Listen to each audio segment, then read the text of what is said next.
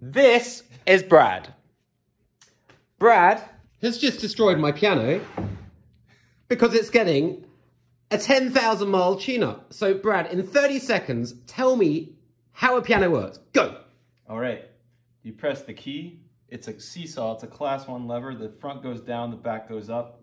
The energy is transferred through this piece called the wippen into the hammer.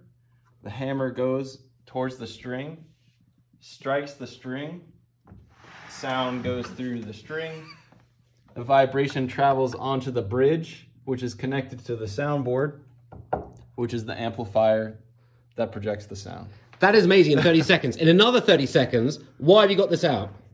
This is called the keyboard action. And I took this out and I've been working out on this all day today, adjusting all of these different levers so that it functions as designed and energy transfers with no, not too much, not too little friction from the key to the hammer. So when Paul plays the piano, it does what he wants. It because when I've been hitting it, it hits this key twice. Is that right? It hits. Correct. It hits that twice. It's been really annoying me, and so he's taken apart this entire thing. And no more annoying, uh, annoying problems, hopefully.